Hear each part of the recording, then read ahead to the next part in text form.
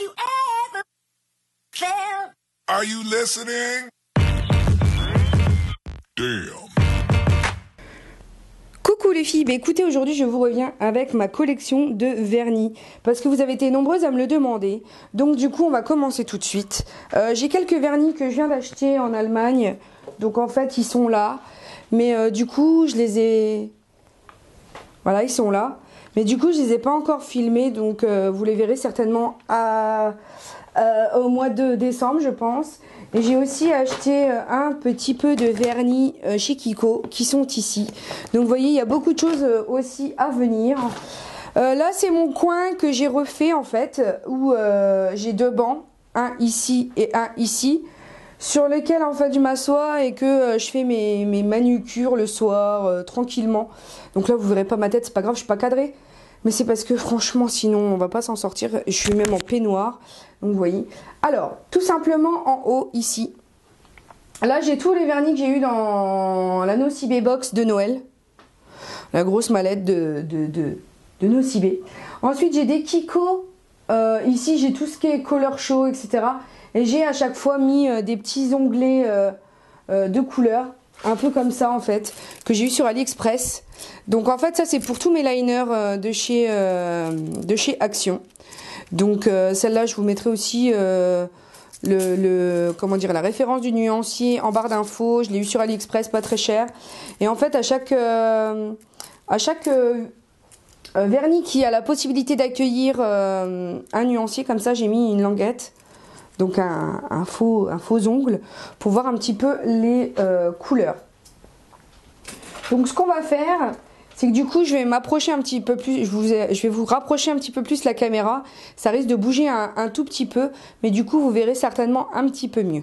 Ici vous voyez euh, donc mon vernis Jessica qui tient extrêmement bien le bleu là, voilà, il tient extrêmement bien, en plus il y a les soix- euh, enfin en plus, ensuite il y a les Rimmel, euh, les Color Show, les, tous les Maybelline, ça moi c'est tout ce que j'avais eu dans la box... euh, de chez Nocibé. Là derrière, il y a tout ce qui est Kiko, les collections euh, précédentes.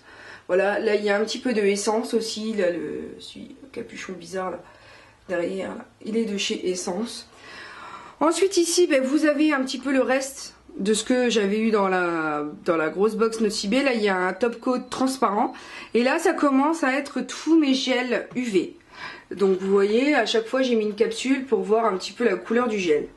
Donc là, j'ai euh, donc là c'est deux, références différentes, voilà.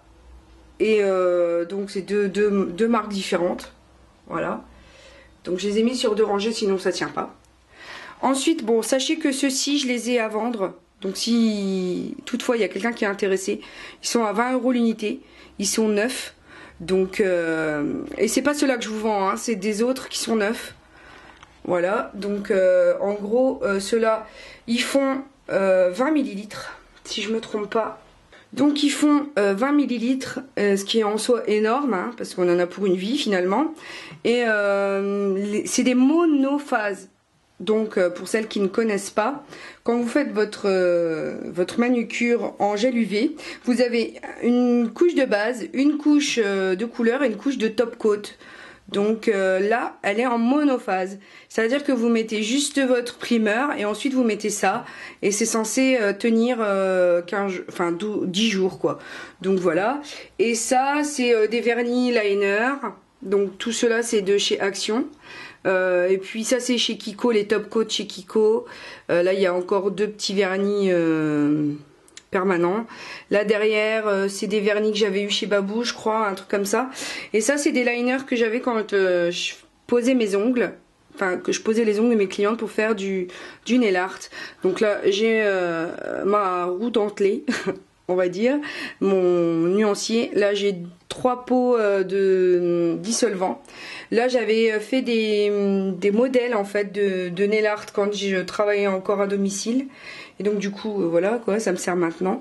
Là, c'est euh, bah, ma colle euh, à faux ongles. Euh, ça, c'est euh, mon récipient à résine, enfin monomère. Et là, ben, j'ai euh, des cotons, j'ai dissolvants, j'ai des. En bas, c'est des des des brosses à cheveux. Donc voilà en gros euh, ce qui se passe ici.